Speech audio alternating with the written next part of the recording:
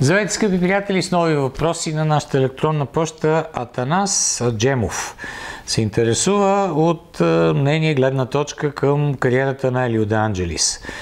Можеше ли да бъде един от най-великите, заедно с Пике Менсъл Сена и при положение, че заедно с Менсъл в отбора на Лотос 82-84 година беше категорично по-бърз и почти така беше в много добра кондиция с, с Сена. Една от интересните, разбира се, история е тази, че Сена не искаше Елио да му бъде съотборник по-натам, защото беше много бърз.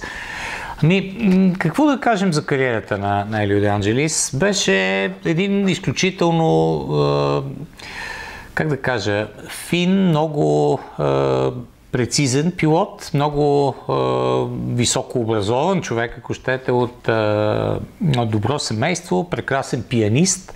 Човек, който в някаква степен, според мен, имаше качествата да бъде много бърз пилот, но може би му липсваше е, унази твърдост, онова категорично представяне и афинитет към битката в голяма степен от които всички тези качества зависи успеха и достигането на върховете в автомобилния спорт. Просто Елио беше доста мек в някои отношения, ако щете дори в политиката, вътре в самите отбори, за да може да се пребори за достигането на такъв статут на, на тези успехи, които имаше.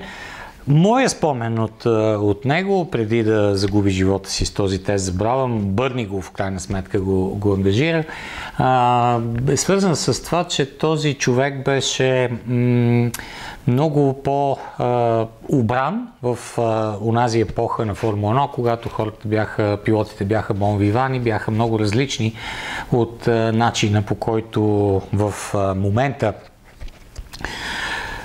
протича живота на един пилот в Формула 1.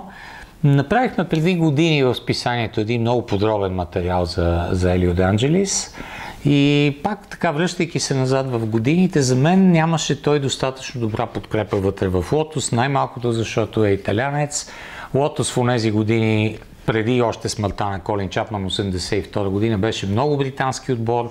След това, независимо от факта, че примерно Жерар Декаруш, французин, ръководеше отбора, нещата пак не стояха достатъчно добре за, за Елио и, и това в някаква степен също определи м- пътя му в Формула 1. Все пак постигна добри резултати, все пак беше едно от големите имена в спорта в тези години, но наистина може би не реализира напълно, напълно таланта си. Така че това е така като най-обща информация за хората, които всъщност доста по-малко го познават в сравнение с много големи имена от началото на 80-те години, края на 70-те всъщност започна кариерата му с Шедол. 80-та година караше и направи много силно впечатление именно с по-малкия отбор.